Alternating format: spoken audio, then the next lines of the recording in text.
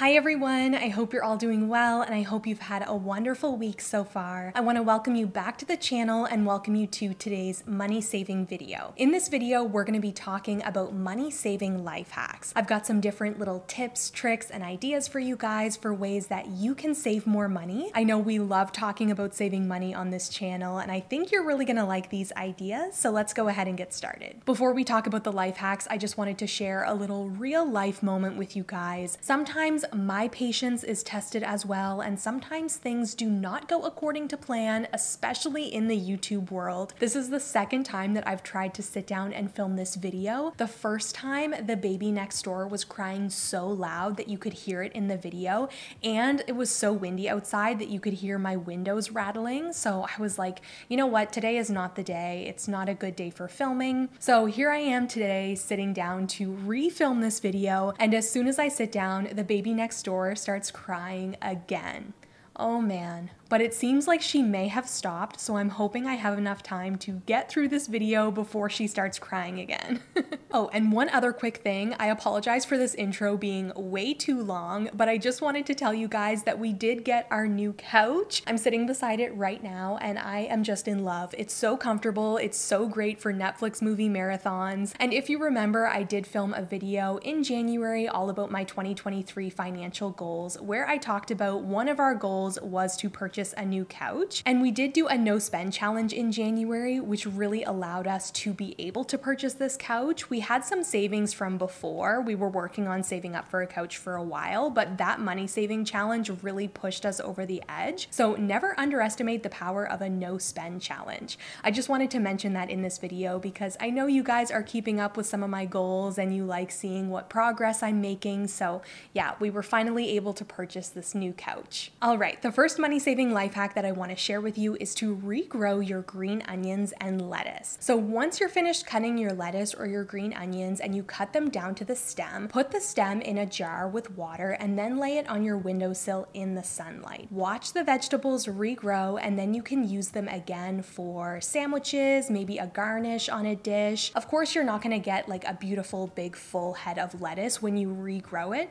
but you will get just enough, like I said, a few leaves for a sandwich or a garnish on a stir fry or something like that. I love doing this whenever I need just a little bit of green onion for something. Rather than going out to the store, I can just go to my windowsill and find the green onions that I've regrown, and it's really helped me save some money over the years. This might be something that some of you already do, but I had to mention it in this video just in case some of you have never thought about it before. So whenever you have a bottle or a jar or some kind of tube with product in it, always make sure that you cut that packaging packaging in half and then scoop out the remaining product. I always make sure I cut into the packaging of whatever product it is I'm using and scrape out everything that I can to get my money's worth. There's certain packaging that's really hard to get into, and sometimes I think companies do this on purpose so that you're not able to get the last bit of the product out and you have to go buy more. But trust me, I will always find a way to get that packaging open and get the rest of the product. This next life hack actually comes from one of you guys, one of my subscribers subscribers left this comment on a video and I thought it was such a good idea. So if you're a tea drinker, make sure to bring some tea bags with you either in your purse or in your backpack. And then when you're out, you can order a cup of hot water, which is typically free. And then you can use your own tea bags to make yourself a cup of tea on the go. So this is gonna save you three to four dollars if you're out and you want a cup of tea but you don't want to pay for it.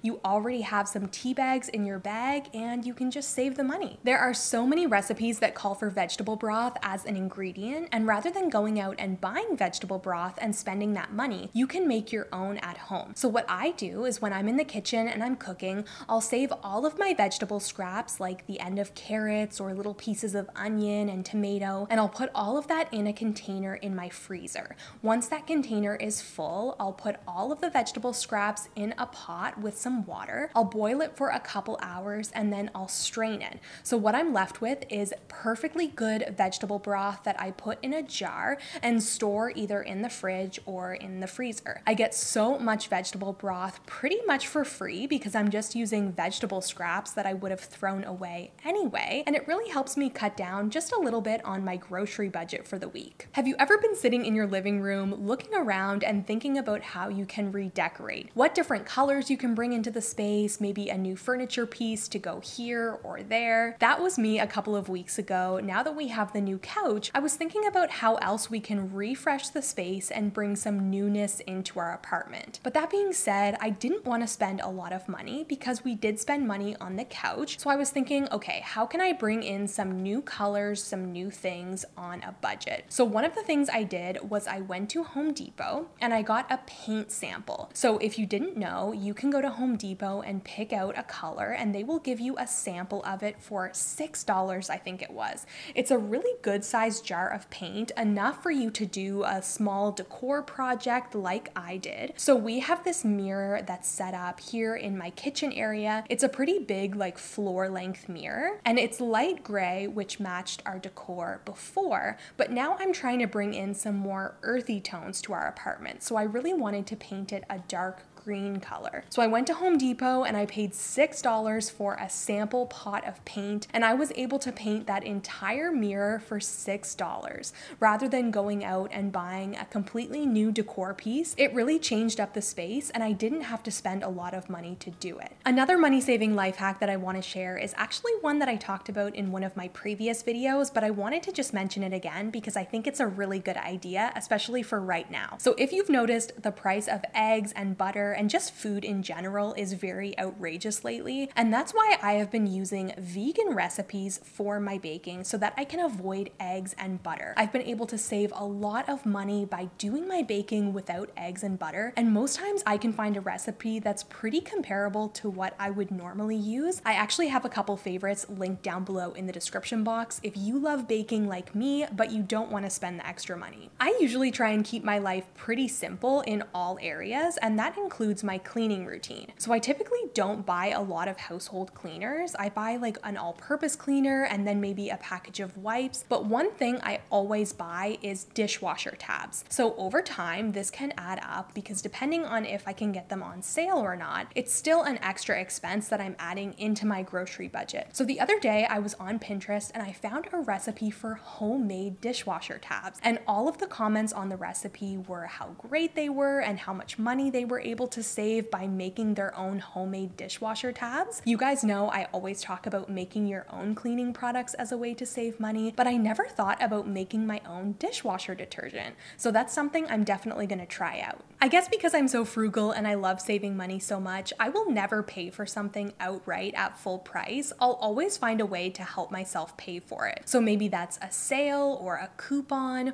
or I'll sell something that I already have to earn money to put towards something that I want. So for example, I talked about wanting to refresh our space and I gave that mirror that we had a new coat of paint. So another thing that I wanted to do was change out the chairs in our dining room. We originally purchased them from Facebook Marketplace. They were secondhand IKEA chairs and I was just tired of them. I wanted a new look. So what I did was I bought a new set of chairs on Facebook Marketplace again. So I guess they're not really new, but new to me. And then I sold our old chairs for the exact same amount of money that I paid for the new chairs. So really all I did was trade our chairs and I didn't have to pay any money for them. Whenever I'm in the kitchen cooking and I have some leftover produce or food, but I don't want to use it for veggie broth, what I'll do is I'll put it in a jar and then I'll freeze it for later to use in a soup or a chili. Usually we like to have chili at least once during the week, and when I'm making that chili, I'll take out that jar from the freezer and see what kind of extras I have that I can add to the chili.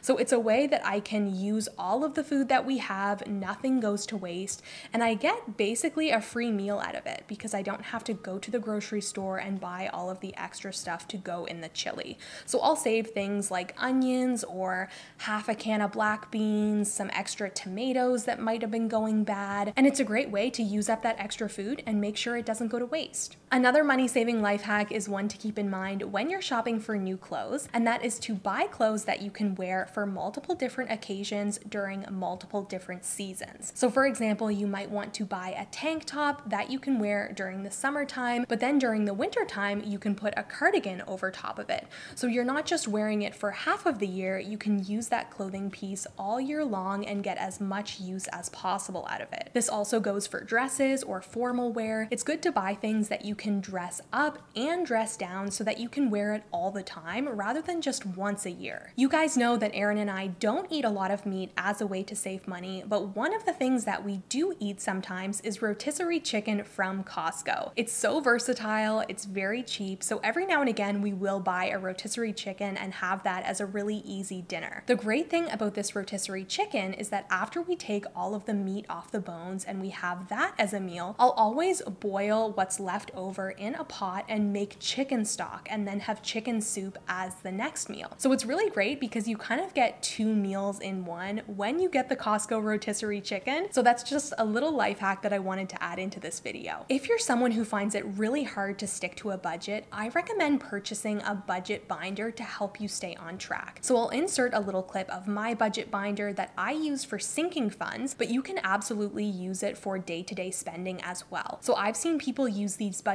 binders and they'll have categories like gas, um, coffee shops, they'll do groceries, and then they'll put cash in the different categories and they're only allowed to spend the cash that's available in the budget binder. If you do want to purchase a budget binder for yourself, I'll leave an Amazon link down below in the description box and I really can't recommend them enough. I love my budget binder and I use it pretty much every day. Another money saving life hack is to use free video streaming services instead of paying for them. Down below in the description box, I'll have some different sites linked that you can check out. You can watch TV for free, which is wonderful. There are so many video streaming services available these days. I think if you were to subscribe to every single one, you would be paying hundreds of dollars a month. There are just so many, and sometimes it's best to just keep it cheap and free. Whew, okay, that was a lot of money saving life hacks, and I got through the whole video without that baby crying, so that is a win.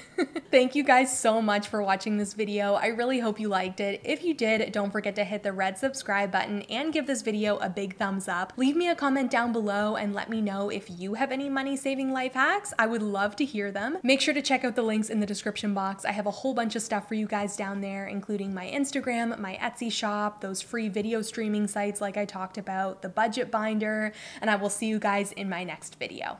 Bye.